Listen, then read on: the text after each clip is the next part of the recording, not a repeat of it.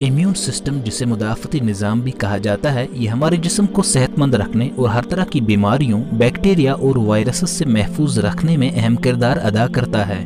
اس نظام میں ہمارے آرگنز جرم سیلز اور مولیکیوز شامل ہوتے ہیں۔ یہ نظام چوبیس گھنٹے جراثیموں اور بیکٹیریا سے لڑتا رہتا ہے۔ یہاں تک کہ خراب قسم کے جراثیم ہمارے امیون سسٹم کو اتنا کمزور بنا دیتے ہیں کہ آئے دن کوئی نہ کوئی بیماری حملہ کرتی رہتی ہے۔ اپنے امیون سسٹم کو مضبوط اور طاقتور بنانے کے لیے ماہرین نے کچھ اصول اور چیزیں تجویز کیے ہیں، جن کے بارے میں ہم اس ویڈیو میں آپ کو بتانے کی کوشش کریں گے۔ تو جاننے کے لیے اس ویڈیو کو آخر تک ضرور دیکھیے۔ ہمارے جسم پر حملہ آور ہونے والے والے جراثیم اور بیکٹیریا سب سے زیادہ ناک اور سانس کی نالی کے ذریعے داخل ہوتے ہیں۔ یہی وجہ ہے کہ نزلہ زکام، کھانسی اور بخار سب سے عام علامت ہوتی ہے جراثیموں کے حملے کے خلاف امیون سسٹم کی ناکامی کی۔ اس کے علاوہ اس نظام کی بہت زیادہ کمزوری، بڑی اور پیچیدہ بیماریوں کی وجہ بھی بنتی ہے۔ تو سوال یہ پیدا ہوتا ہے کہ امیون سسٹم کو مضبوط کیسے بنایا جائے؟ بیٹا کیروٹین ہماری باڈی میں ویٹامن اے میں تبدیل ہو جاتا ہے، جو کہ مضبوط امیون سسٹم کے لیے ضروری کمپوننٹ ہے۔ یہ زہریلے اور بیرونی مواد کے خلاف اینٹی باڈیز کے رد عمل میں مدد دیتا ہے۔ اور بیٹا کیروٹین حاصل کرنے کا سب سے آسان ذریعہ گاجر، آم، کھوبانی، پالک اور کدو کا استعمال ہے۔ اور ویٹامن سی ہمارے خون میں اینٹی باڈیز کی سطح بڑھانے اور وائٹ بلڈ سیلز کی کارکردگی میں مدد دیتا ہے، جس سے جسم کو یہ ڈپلائمنٹ کرنے میں مدد ملتی ہے کہ اسے کس قسم کے تحفظ کی ضرورت ہے۔ کچھ تحقیقی رپورٹس کے مطابق ویٹامن سی کی زیادہ مقدار کا استعمال موسمی نزلہ زکام کے دورانیے میں معمولی کمی لا سکتا ہے۔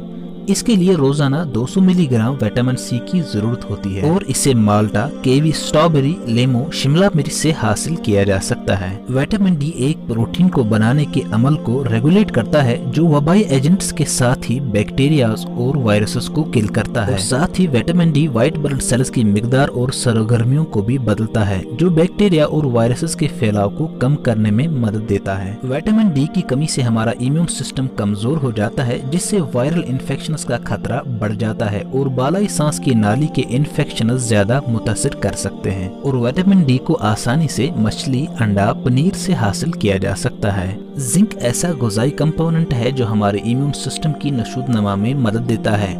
اور چنے، دالے، گریاں، آٹے کی بوسی، چکن اور دہی سے آسانی سے زنک حاصل کیا جا سکتا ہے۔ پرو بایوٹک اور پری بایوٹک سے میادے میں موجود بیکٹیریا کی صحت بہتر ہوتی ہے۔ یہ بیکٹیریا ہمارے امیون سسٹم کو مدد فراہم کرتے ہیں۔ ان کو حاصل کرنے کے لیے دہی، پنیر، کیلا، پیاز اور لہسن کو استعمال کرنا چاہیے۔ اور ہماری جسمانی، نفسیاتی اور ذہنی صحت کا گہرا تعلق نیند سے ہوتا ہے۔ جو شخص رات کو اچھی نیند سے محروم ہوتا ہے، وہ اگلے دن نہ صرف تھکاوٹ کا شکار برقرار رہتا ہے، بلکہ نیند کی مسلسل خرابی ہمارے اندر ڈائبٹیز بلڈ پریشر اور ہارٹ پرابلم کو بھی جنم دیتا ہے۔ کیونکہ دوران نیند ہمارا جسم قدرتی طور پر ایک ایسا ہارمون پیدا کرتا ہے جو ہمارے امیون سسٹم کو مضبوط بنانے کے لیے ضروری ہے، جسے میلاٹونن کہتے ہیں۔ اور نیند کی کمی اس ہارمون کی پیداوار کو بند کر دیتی ہے۔ اس لیے کم سے کم سات گھنٹے کی نیند ہر انسان کے لیے ضروری ہے۔ اس کے ساتھ ہی پابندی کے ساتھ ورزش یا چہل قدمی ہمارے جسم کے امیون سسٹم کو ایکٹیو رکھنے میں کافی کافی مددگار ثابت ہوتا ہے۔